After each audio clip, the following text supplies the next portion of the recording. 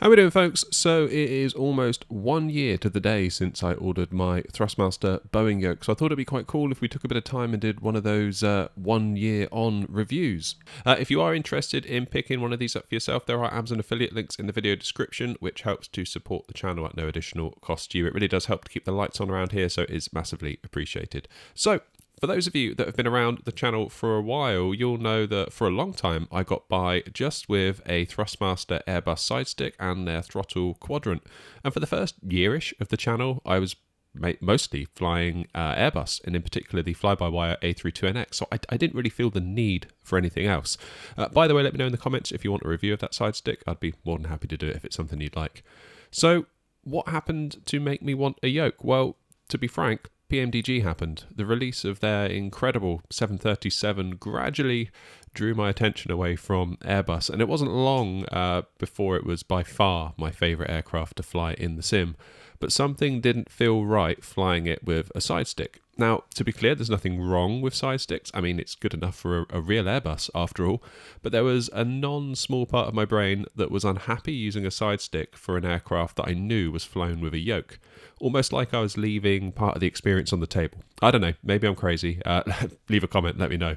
Uh, also, for those of you that are feeling triggered by the fact I'm using a Boeing yoke and an Airbus throttle, I've made a whole separate video detailing my thought process around this. If you're interested, I'll try and link it below or up there somewhere.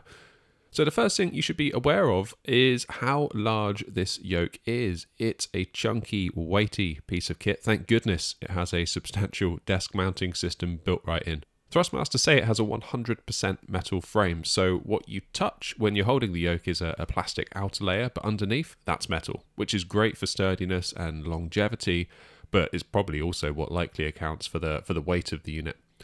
The other thing I wasn't quite ready for was uh, quite how far it sticks out from your desk to recreate that classic airliner feel where the yoke is anchored and therefore pivots from the floor. Thrustmaster developed a pendular mechanism, which means the body of the device extends out from the edge of your desk and it's here that the yoke is anchored, which recreates that feel of having the yoke anchored to the floor without actually having to have it anchored to the floor. It was that that actually made this yoke stand out to me, as there were some others I was considering, um, but they had more of a GA feel, where almost like the yoke is on a, a push-pull-pole type system. Uh, it's not that one style of yoke is necessarily better than the other. You, you have to ask yourself, what's the goal?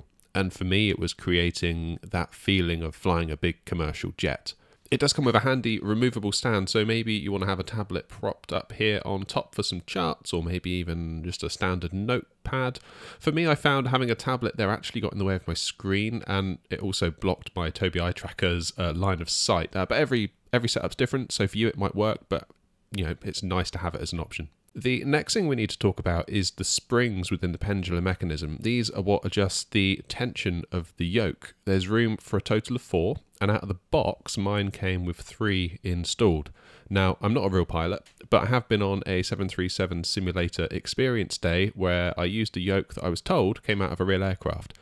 And as soon as I started to use the Thrustmaster Boeing yoke, in its out of the box config with the three springs installed, I immediately thought the movement on the yoke felt quite light um, compared to what I remembered on the sim experience day.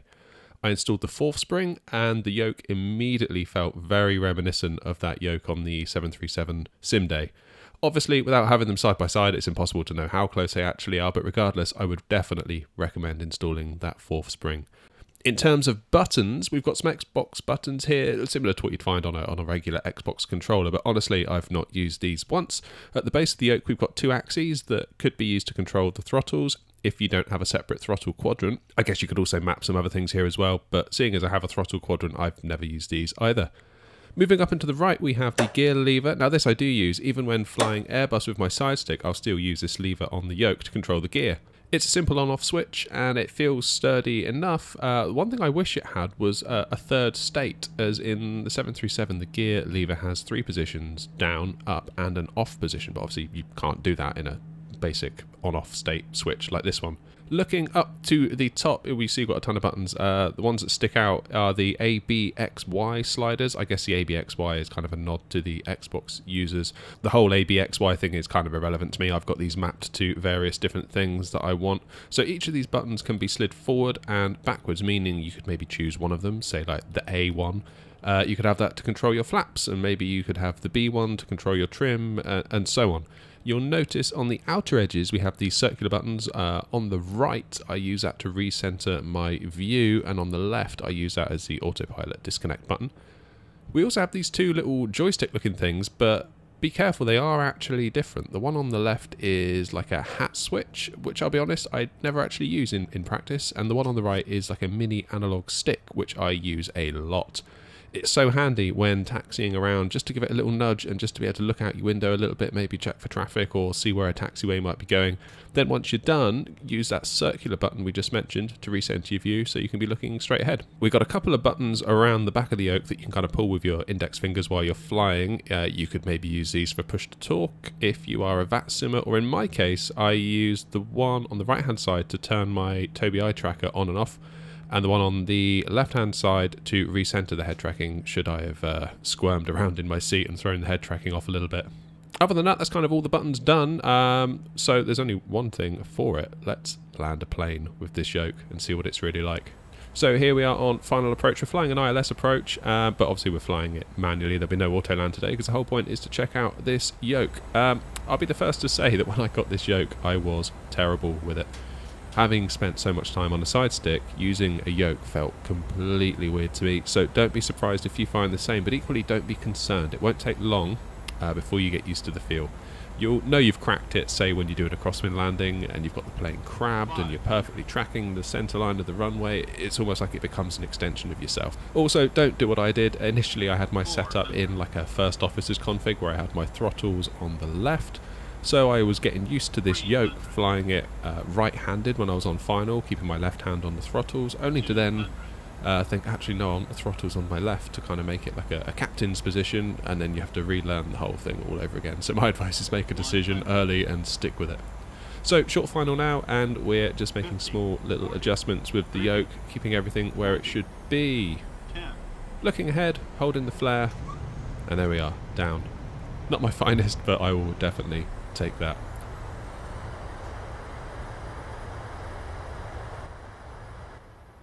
So, what do I really think of this yoke? And the way I kind of frame these questions to myself is I ask another question, and that is if it were to break tomorrow and it was out of warranty, would I buy another one?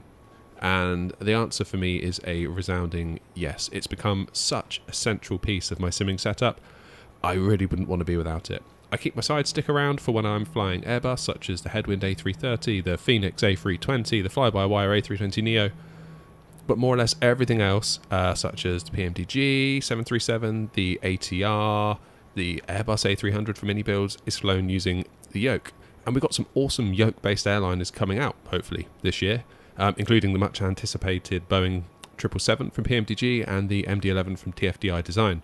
So I think it's safe to say we're going to be clocking up a lot of hours on this yoke. Speaking of clocking up lots of hours, let's talk about durability. It feels just like the day I bought it. There's no weird creaks or clunkiness or anything weird about it. It is as solid as a rock, probably in part due to that metal frame construction underneath that Thrustmaster spoke about. I think without investing a ton of money into like a full-on home cockpit, maybe using repurposed yokes from actual aircraft where you've rewired them to work over USB, I'd say this is probably as close as you're going to get to the real thing if you're flying on a flight simulator at home while keeping your wallet semi intact. I really do think it's a fantastic bit of kit, and I honestly wouldn't want to be without it. I hope you've enjoyed today's video. If you have, please do consider hitting that like button. It really does help the video and the channel a ton. Um, also, we're coming up on 10k subs, so if you haven't already, hit that sub button. We do a load of content on the channel, uh, this kind of thing, as well as live streams, uh, all, all the flight sim stuff. And uh, let me know in the comments if you've got any questions about the yoke. I'll be more than happy to answer them. Thank you all so much for watching. Take the very best care of yourselves. And as always, happy flying.